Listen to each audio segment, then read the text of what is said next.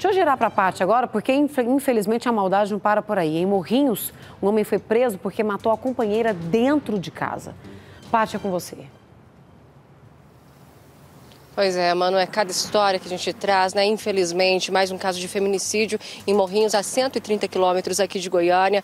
A Polícia Militar, também a Polícia Civil, né, foram comunicados deste crime. Eles então foram até a residência deste casal e lá encontraram a mulher de 49 anos de idade caída já sem vida, Manu. De imediato, eles começaram as buscas, então, para localizar este homem, o principal suspeito, companheiro né, da vítima de 36 anos de idade. Ele foi encontrado, foi preso, preso em flagrante pelo crime de feminicídio e ele confessou o que fez. Diz que estava sob efeito de bebida alcoólica, eles tiveram ali uma discussão e ele então sufocou a vítima com um travesseiro até a morte. Este homem de 36 anos de idade que matou então a companheira lá em Morrinhos, interior aqui de Goiás, está preso em flagrante. A gente espera, né, Manu, que fique preso, que tenha uma pena, né, é, compatível ao que ele fez. Eu volto com você.